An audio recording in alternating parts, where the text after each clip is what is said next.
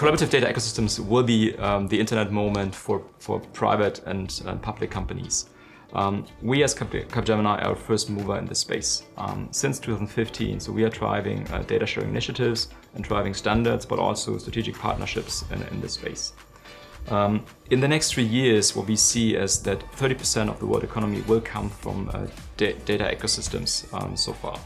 And um, this is something we want to want to move forward and help clients to, to make this happen. So I'm Philip, so I'm leading the, the data ecosystem offering for the German market.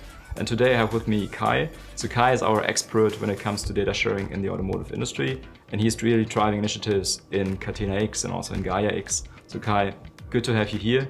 Um, so I really want to learn from you. What's your experience when it comes to data ecosystems? So maybe the first question would be, so what's what, what is it for you? So what are what is it? What are data ecosystems um, from your perspective? Many thanks for having me, Philip, and great question.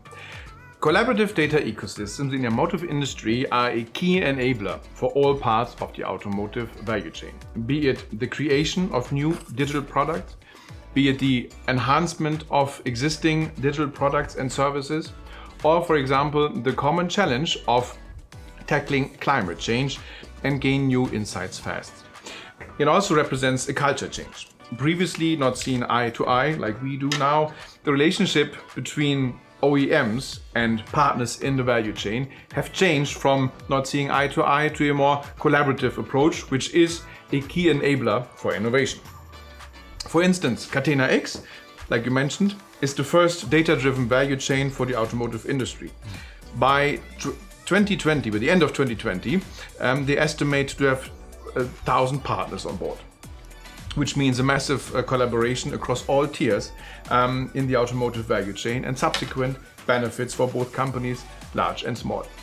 Okay, that, that's super exciting what, what you're telling.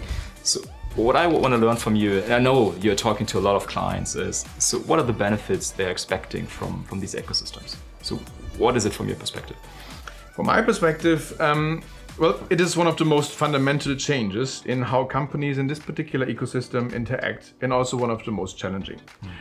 Facing common threats, opportunities, challenges alike, companies come to realize that their best bet at winning this game is to exchange data, yet balance it in a way that IPs still remain protected.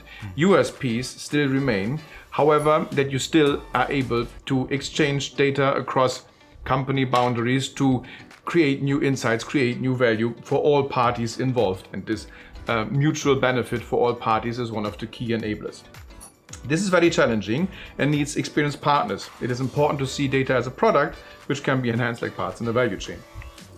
Okay, that's super exciting. For me, it's it's it's too good to be true to really come move in this direction, and I know that we are helping a lot of clients in this this regard. What what what's what are the major challenges they need to overcome uh, in this regard? Creative design of new services and products is made possible through sharing of data across company barriers. If we take a look at endeavors like Catena X, like you just mentioned, um, it shows how new products and services can be created through data sharing. Creating transparency over the value chain, fast and easily to comply with new re regulations is one problem solved. Also reducing the carbon footprint, enabling circular economy, business partner data management, traceability, real-time control are but a few examples of how data sharing can benefit all partners. And this is one of the main points of success. Okay, so super, super interesting. So thanks a lot for, for these, these great insights. Uh, so maybe ju just to conclude, uh, what we have just learned from Kai is, um, so data ecosystems are really helping to build new services, improve existing services, but also to generate new insights faster. And I think the most interesting one is also to, to help really to overcome the challenges automotive companies have with the sustainability uh, topic, but also with the carbon footprint.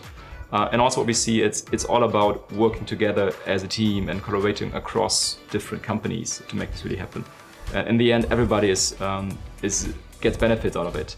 Um, and also it's, so the ecosystem, they're already here. So it's a brave new world, which is existing.